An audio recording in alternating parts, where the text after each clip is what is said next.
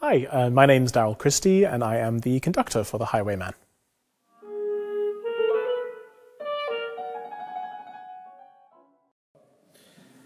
This is uh, part one, movement two, take two. The score for The Highwayman is complex.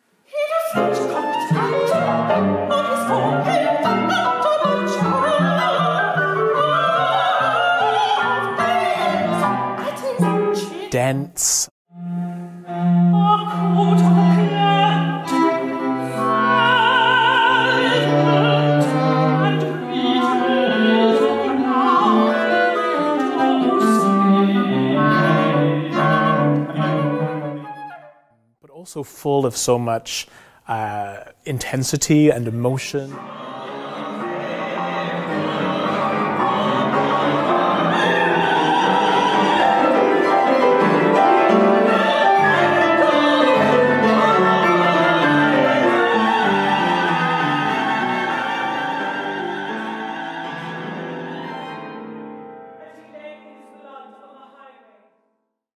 Wonderful to see, you know, through every rehearsal and through every iteration of us performing the piece, uh, how the piece changes and morphs, and you know, more of the musical material that we find within the piece, uh, the more that we play it. And um, working with Krisztina has been uh, absolutely fantastic. She brings such intensity to her performance, um, and I think that uh, as a as a an ensemble, we all feed off of that wonderful energy that she brings.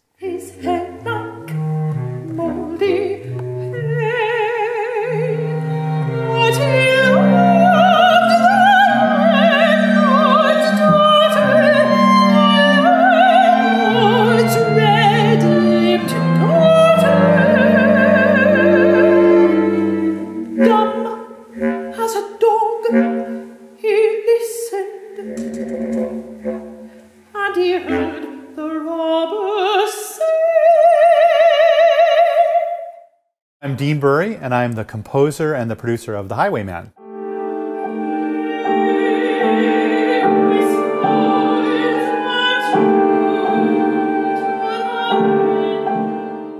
So The Highwayman is a ballad poem that was written by Alfred Noyes in 1906. Uh, some might consider it schmaltzy or post-romantic. It basically tells the story of this dashing highway robber in the 18th century who falls in love with Bess, the beautiful landlord's daughter. There's passion and secret trysts and murder involved as well.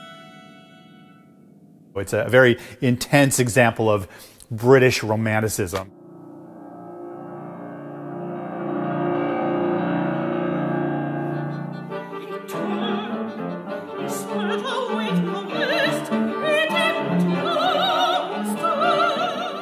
10 years ago, I was actually doing my doctorate at U of T um, and looking for a new project, and at the same time, kind of really exploring uh, a work called Pierrot Lunaire by Arnold Schoenberg, um, and the clear connection of the moon between Pierrot Lunaire and the Highwayman make me think, is there some way to kind of bring these two things together?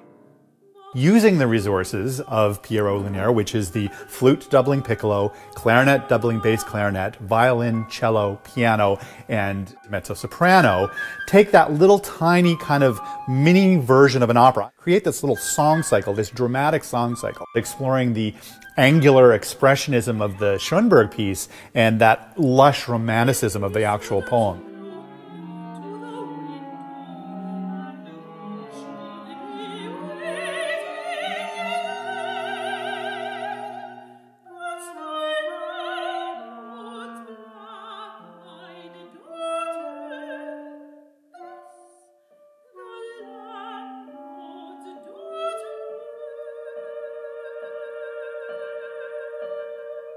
I've been here now at Queen's for about five years and pretty quickly realized that the amazing resources here were the perfect environment to try to bring that piece back to the, to the stage. I'm also grateful for the Imagine program here at the Isabel Bader Center, which really um, is there to kind of build these new pieces and really, um, again, not and create this kind of environment for things to kind of even become more than they, they may have been otherwise.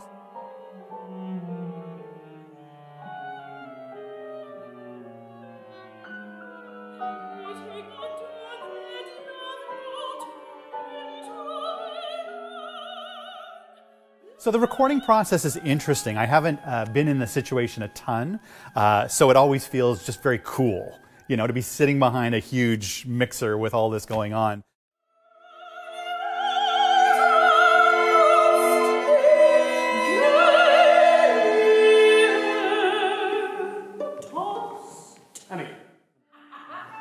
the way this really works is you just gather great people together and just support them to do what they do.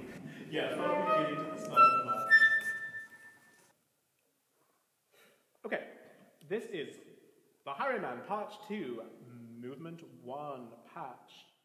So it's, it's an incredible ensemble that we've uh, brought together here for this project, and they're all DAN School professors.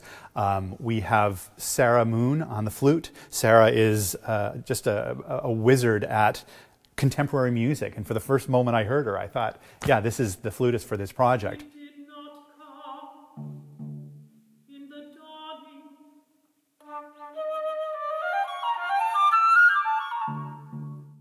Cornell Wallach on the clarinet.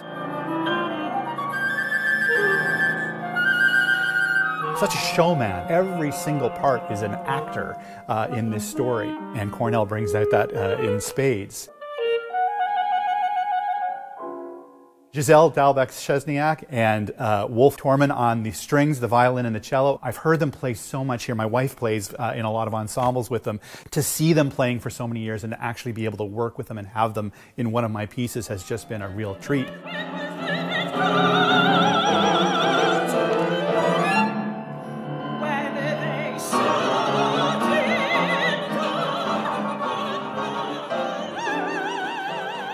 And Youngen, uh, on the piano, funnily enough, I taught at the Glenn Gould School about 12 years ago.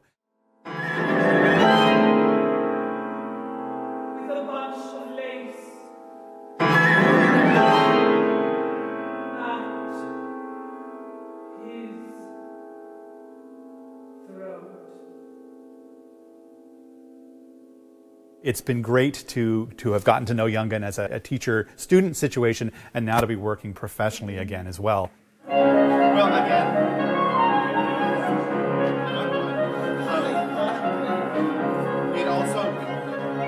There is the talent which is involved, um, but there's also the, the dependability and reliability and the just ease of working with someone. And Darrell Christie really kind of brings that all together in a sense with incredible artistic ideas, but just someone who makes the working environment so absolutely pleasant and joyful.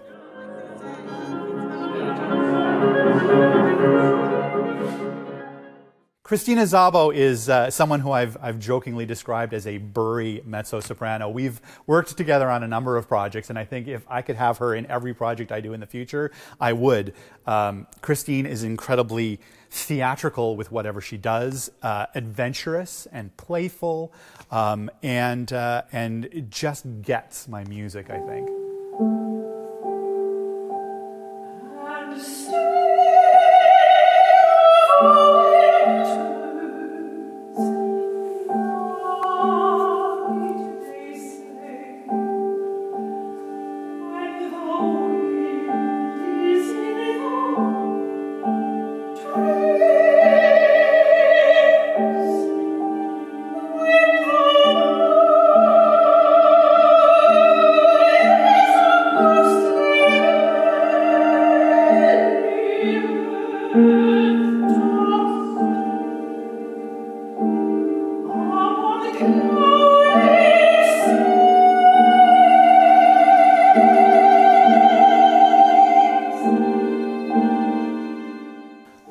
Really fun technique that I've been able to use with the Highwayman is what's called prepared piano, uh, which is actually something the composer John Cage started using back in the 60s, um, which involves inserting objects into the piano to create sounds that you wouldn't uh, otherwise have gotten.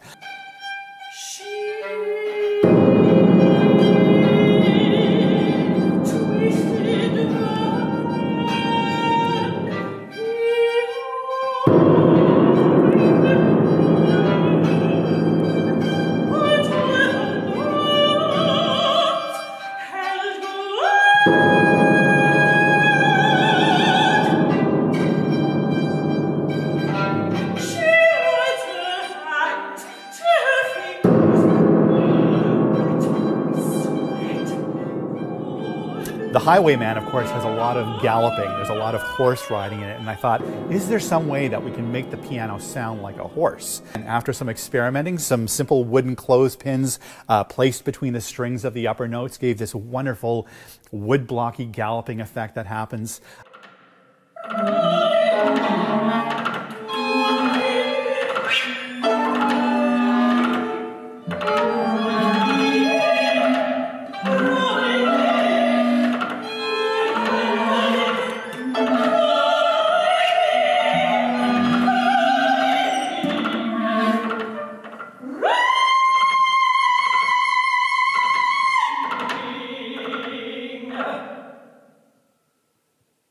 Hi, I'm Krisztina Szabó, uh, mezzo soprano, and I am the soloist in The Highwayman.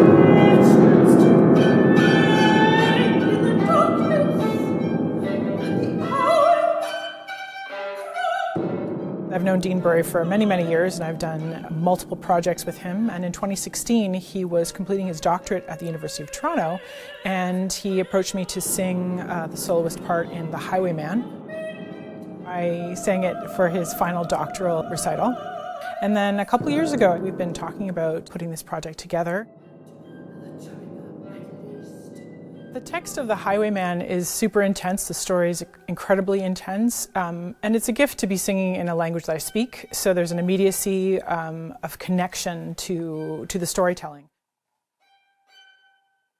The differences of performing The Highwayman, particularly, and recording are, are substantial in that The Highwayman, as a complete work, is, in, is, is a big sing for me.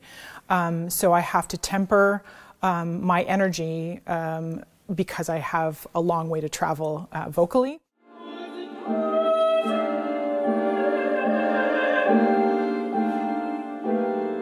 Recording process, it's been wonderful because we take lots of breaks and I can do what I want with a particular movement um, and then take a little vocal break and then be able to do the big things.